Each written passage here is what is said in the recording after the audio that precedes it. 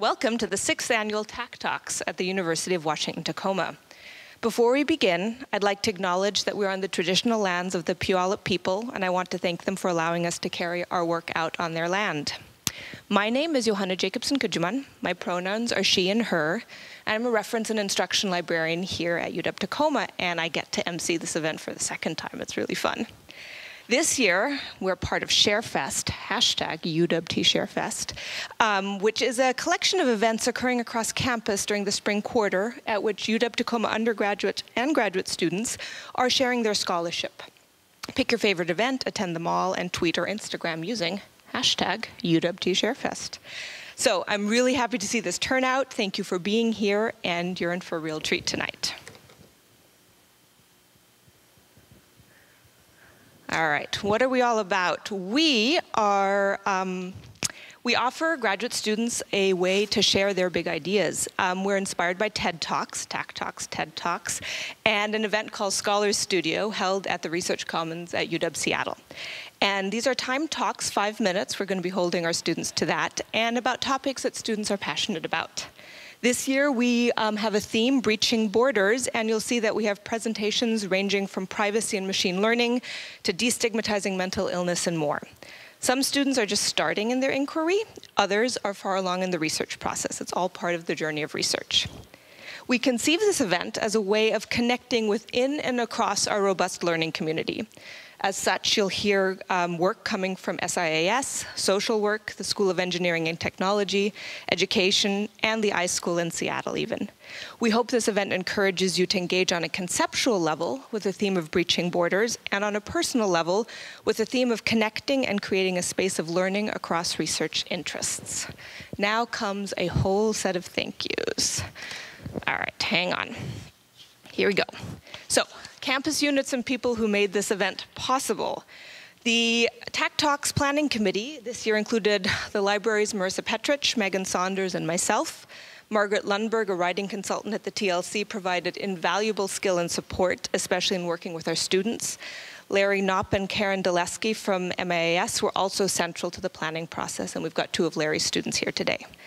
We'd also like to thank our sponsors and collaborating campus units. So the library, we've got our director, Lauren Pressley, and our associate director, Justin Wadland here. The TLC, the Office of Research, especially Turan Kayaoglu, um, SIAS, and the UW Graduate School that contributed funds again this year to offer us a delicious snack and refreshments after the event. All right.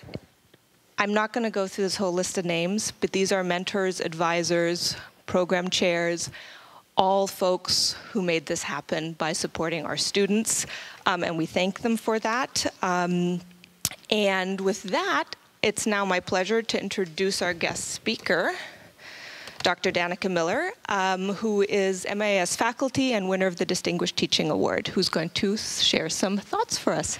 Thank you, Danica. Hashlachil. You can do it too. Hashlachil. Hashlachil sitsi ab.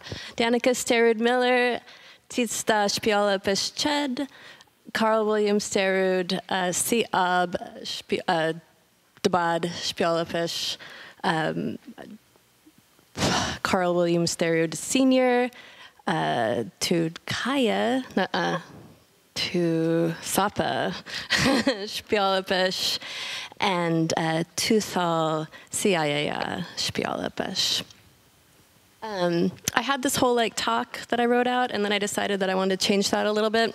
so I'm not going to say anything else, even though I should have probably been reading my Lashut Um, so I was thinking about um, one of the things I've been thinking about a lot lately is uh, because I keep uh, being asked to sort of do these, uh, to do welcomes for uh, the Puyallup community, uh, welcoming people to our land. And I think about like, what, do, what does that mean?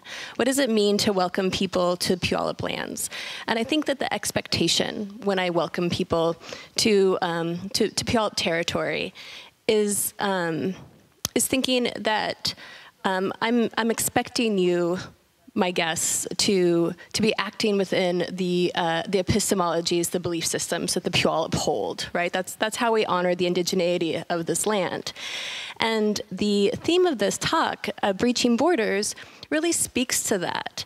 Um, we talk a lot about how Tacoma is this urban city, right? And this is a, a, meeting place.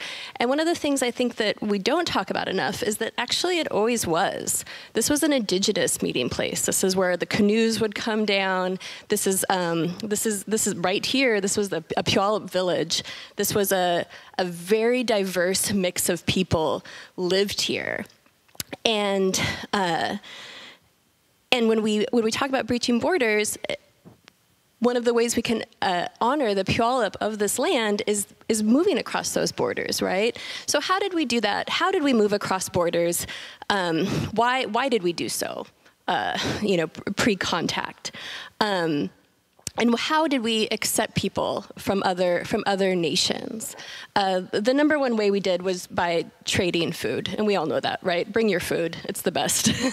but the second thing that we did was that we told our stories right and i think that that's one of the things that we're losing today is that you know we're getting caught up in our, all our own little facebook groups everybody's so um, in their little corners that we don't listen to stories anymore and by telling each other our stories it creates this this um, common, uh, I hate to use the word tribalness, but it does, right? It creates this, these communities even when it seems like we don't have anything in common.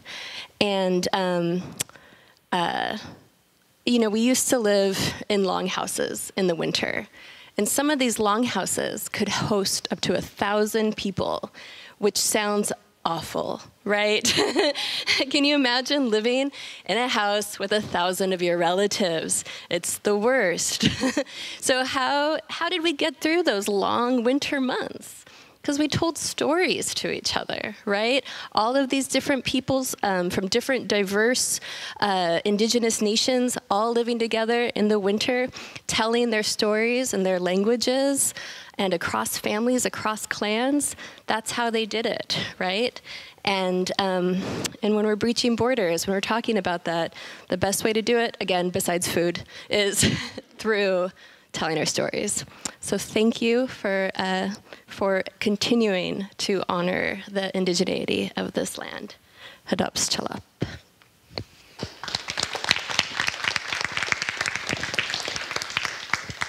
Thank you so much, Danica. And um, as a folklorist, I value stories and um, like framing this event as storytelling. And these are the stories that our graduate students care about. And so I'm, I'm really delighted. Um, thank you.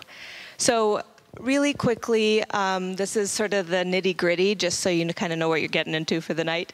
Um, we're going to be listening to eight TAC talks. One person was unfortunately not able to come today in two rounds. Everyone will be speaking for five minutes. Then we'll have a Q&A for that collective group. Um, then there'll be a second round of four speakers and another Q&A.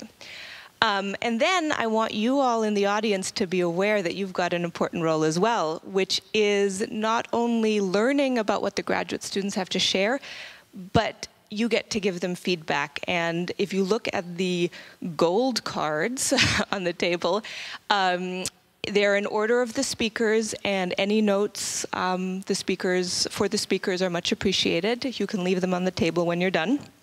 Um, we've also got purple cards on the table, which this year we have an audience favorite award that you all will be voting for. And so at the end of the second talks, turn in your card. We'll tally it up and make an announcement.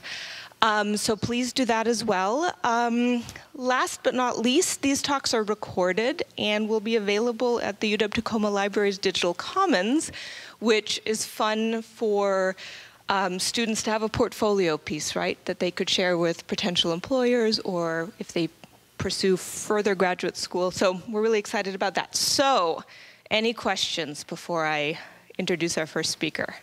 Are we good? All right. So,